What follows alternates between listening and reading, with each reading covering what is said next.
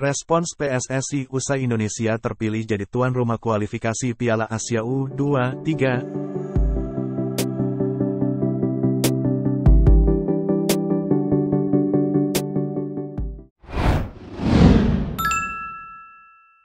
Ini kata PSSI usai Indonesia terpilih sebagai tuan rumah kualifikasi Piala Asia U23 2024. Skuad Timnas U22 Indonesia alumnus SEA Games 2023 sudah harus bersiap menjalani kualifikasi Piala Asia U23 2024. Euforia kemenangan Garuda Muda di ajang SEA Games 2023 harus segera berlalu. Kejuaraan ini wajib dipersiapkan serius oleh Garuda Muda. Event tersebut bakal dilaksanakan pada 4-12 September tahun 2023. Kualifikasi Piala Asia U23 2024 bakal diikuti oleh 46 negara dan dibagi dalam 11 grup. Hanya juara grup dan 4 runner-up terbaik yang berhak lolos ke Piala Asia U23 2024 di Qatar.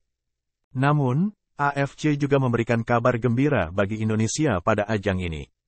Indonesia dipastikan jadi salah satu dari 11 tuan rumah yang ditunjuk oleh AFC. Karena itu, Garuda Muda punya keuntungan besar pada kualifikasi Piala Asia U23 2024 mendatang. PSSI pun angkat suara mengenai isu ini. Menurut anggota Komite Eksekutif PSSI, Vivin Cahyani, pihaknya belum menentukan venue pertandingan. Pasalnya, penunjukan Indonesia baru saja diumumkan oleh AFC sendiri. Sejauh ini Indonesia belum pernah lolos ke putaran final Piala Asia U23 2024. Pada edisi terakhir, Indonesia harus kalah dari Australia pada babak kualifikasi. Turnamen Piala Asia U23 2024 sendiri bakal dilaksanakan di Qatar. Turnamen tersebut juga sekaligus jadi ajang kualifikasi menuju ajang Olimpiade 2024 di Paris. Namun, perjuangan Garuda Muda sepertinya sedikit berat untuk mendapatkan tiket menuju Olimpiade.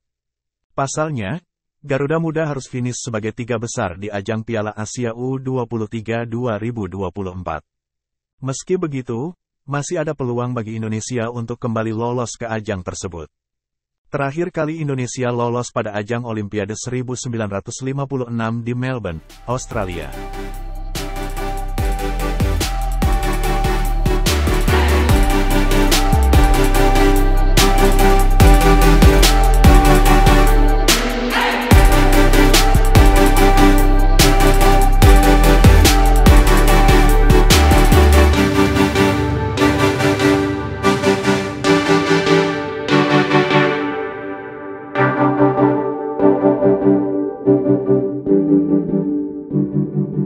Terima kasih sudah nonton.